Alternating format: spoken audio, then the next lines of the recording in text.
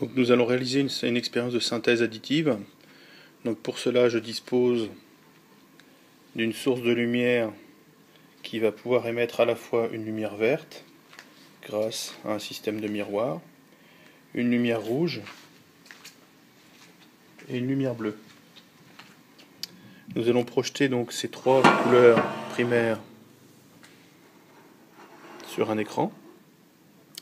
Je dispose des trois couleurs primaires, le rouge au centre, le vert à gauche, le bleu à droite. Je superpose ici le bleu et le rouge. Au milieu, j'obtiens le magenta.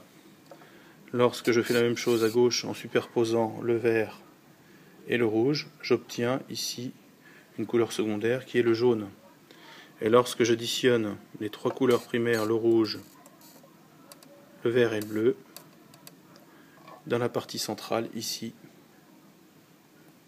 on obtient une lumière blanche. Donc l'addition des trois couleurs primaires en synthèse additive donne la couleur blanche.